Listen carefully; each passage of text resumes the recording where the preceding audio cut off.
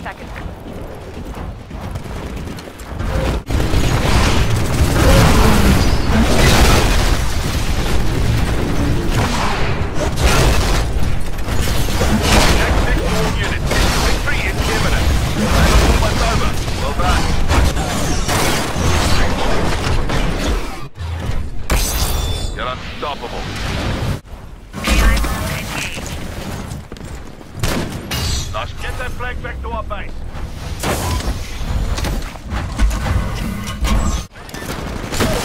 Rock and rolling.